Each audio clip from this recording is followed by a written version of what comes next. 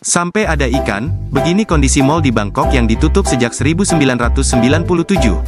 Mall ini ditutup tahun 1997 karena melanggar izin pembangunan. Sejak saat itu mall yang dulunya bernama New World itu terbengkalai hingga kini. Sebenarnya bangunan ini resmi ditutup untuk umum pada tahun 2011, tapi cukup mudah untuk menyelinap masuk melalui pintu belakang. Terdapat lumut di mana-mana, namun yang paling unik adalah, di lantai dasar mall tersebut menjadi genangan air dan terdapat berbagai jenis ikan di sana. Entah dari mana datangnya ikan itu, disengaja atau tidak. Yang pasti, ikan-ikan itu bisa bertahan hidup di mall tersebut.